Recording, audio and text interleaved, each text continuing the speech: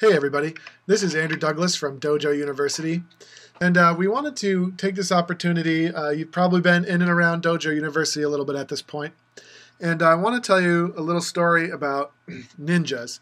Um, obviously, we called the Piper's Dojo a dojo because of our association with the Secret Society of Ninjas, which uh, Carl and I are both um, ninjas, coincidentally enough, and we know how ninjas like to get around and um, they've discovered some really cool, awesome tricks about Dojo University that uh, we want to share with you. Um, you know, obviously you can't be a ninja, but you can know the tricks that they use. So the first thing I'm going to do is I'm going to bring up my little conference here with Carl, and uh, he's just kind of gonna he's kind of a dummy here today, um, though still um, possessing ninja qualities. He's just going to kind of be there, and I want to show you a couple cool tips and tricks about the um, software here that you can use uh, to help you in Dojo University.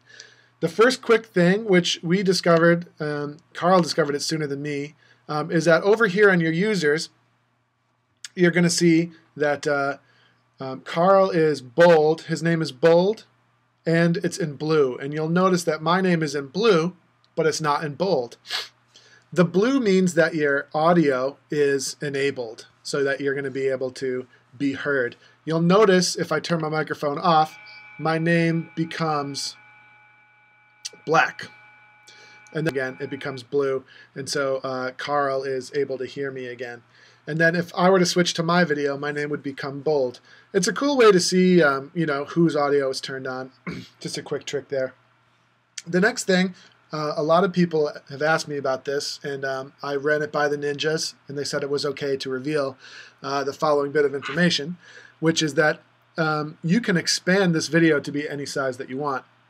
So if uh, if it's mostly a demonstration type moment at Dojo University, I can make Carl quite large, like this.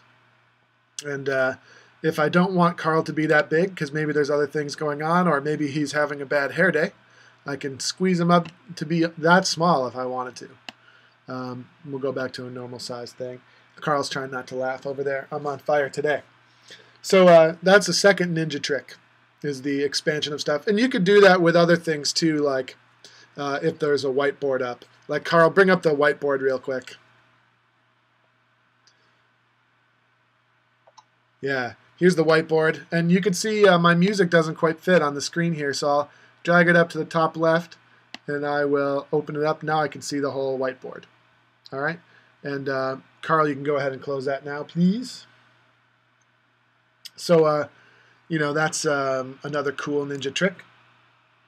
Here's another one, is uh, this thing right here over on the right-hand side. I can do a couple of things with it.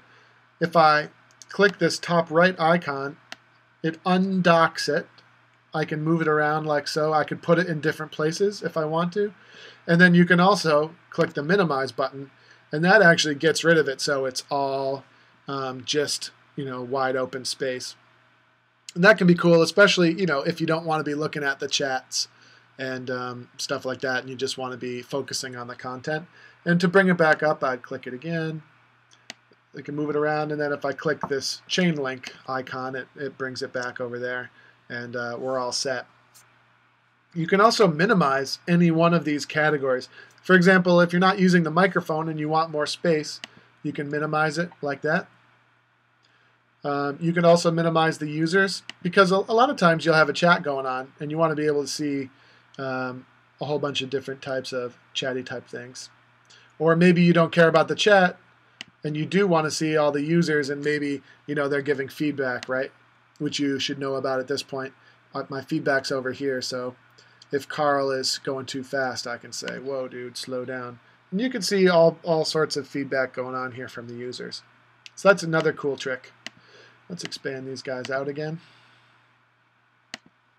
All right, one more ninja trick in the software is to send a private message let's say I'm uh, I have a buddy that's in the class and I want to say something completely inappropriate to them that you don't want everyone else to see.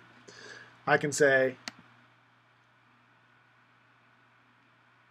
I can click on him. You just uh, give it a single uh, left click, I guess it is, um, and that's going to bring up this secret private chat, and it says Carl on it, and I can say, Carl, I'm so glad I'm a ninja and already knew this stuff. And only Carl is going to get that message. You'll see that it didn't show up in the public chat. And Carl is also glad that he is a ninja. So that is a, uh, you know, that's the the main trickery that we're aware of. I mean, uh, Carl, can you think of anything else that uh, I missed? Just how to resize uh, your screen when you show my desktop. Oh yeah, go ahead and show your desktop there, Carl. And uh, we were uh, we did want to cover this.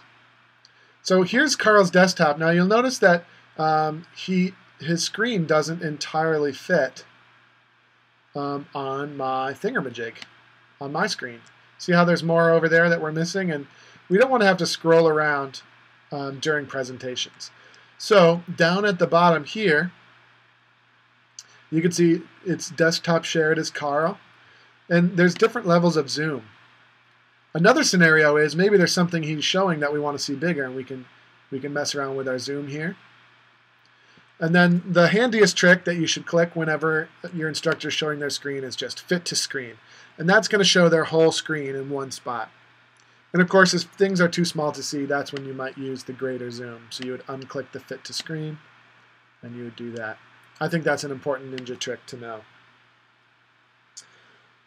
All right, guys. Well, those are the main ninja tricks of the Dojo U virtual classroom. So thanks, Carl, for your help today. And uh, I hope you're enjoying Dojo U so far. And if there's any problems or if you'd like to tell us anything else that we might want to know, make sure to contact us. But meanwhile, uh, enjoy the rest of your Dojo University class. We will see you in there.